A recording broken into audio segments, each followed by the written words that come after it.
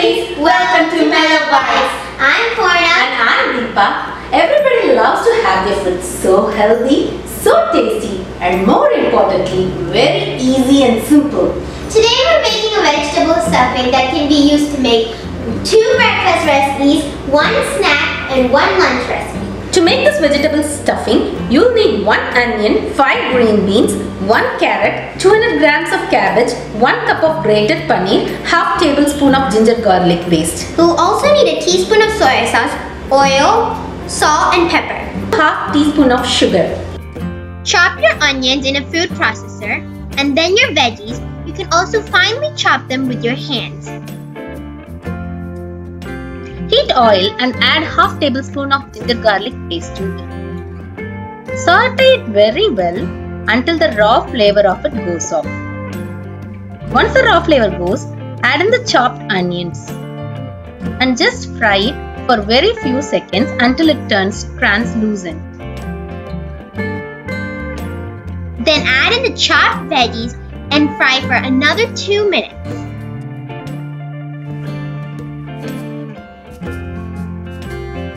It's time to add in salt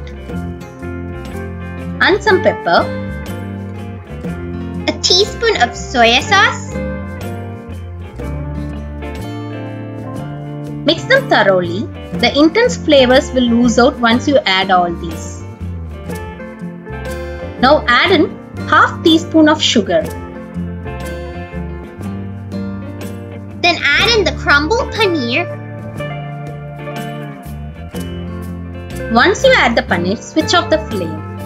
The vegetable stuffing is ready in just few minutes.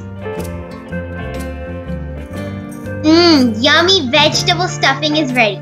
Now, let's take a look into the recipes that can be made with this vegetable stuffing. The first recipe is a breakfast, veg paneer dosa. Heat a skillet and pour in dosa batter and spread it out evenly on the skillet. Dosa batter is a beautiful combination of rice and lentils soaked, grounded and fermented together. Pour some oil and then using a spatula spread it out evenly so that you get a crispier dosa. Take a tomato chutney that you have made at your home and spread it out evenly on the dosa. You can even use pizza sauce and it tastes exactly like pizza dosa because the paneer is like Indian cottage cheese.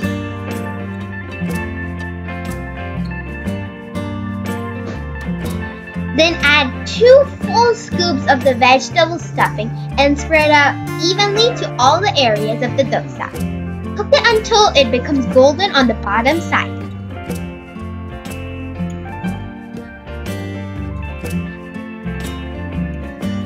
Veg paneer dosa is ready to serve. The next breakfast recipe that we have is veg paneer frittata. No worries if you don't have dosa batter. Crack in 2 eggs Then add in chopped chilies and coriander leaves. Add in salt and then pepper. Beat it well And add in two scoops of the vegetable stuffing. Mix it thoroughly. Heat a pan and then add in a liberal amount of butter. Spread the butter evenly on the pan on all sides because this frittata comes very well without sticking at the bottom only if you spread it evenly.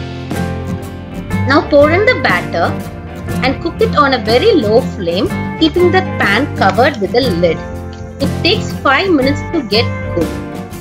After 5 minutes, you can open the lid and find that the paneer frittata is cooked very well. Now you can take it off the pan and then serve it hot for your breakfast. Time for lunch. Coming up is spicy veg paneer fried rice. Heat a kadai and add in some oil. Here I have 2 shredded garlic along with half teaspoon of chili powder mixed with some water. Mix it thoroughly and add it to the oil. Stir it well so that you don't get the masala burnt. Add 2 to 3 scoops of the vegetable stuffing and then stir it thoroughly. Here we have 2 cups of cooked rice. I'm just going to put it in there. Mix it thoroughly and your spicy veg paneer fried rice is ready. Lunch was great. Time for a snack.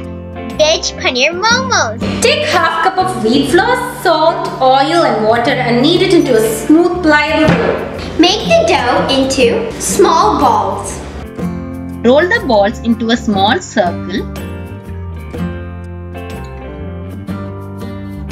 and place the stuffing in the center of the circle.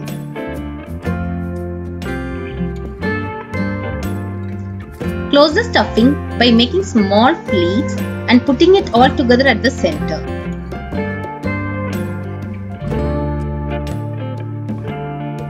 Arrange the momos in a steamer. You can also use an idli pot at your home. It'll take 10 minutes to cook. Now the momos have been very well steamed. Here we go. Veg paneer dosa for breakfast. Veg paneer frittata Veg paneer fried rice for lunch. and veg paneer momos for your snack. So foodies, in just 10 minutes you made a beautiful vegetable stuffing and here is a platter of recipes.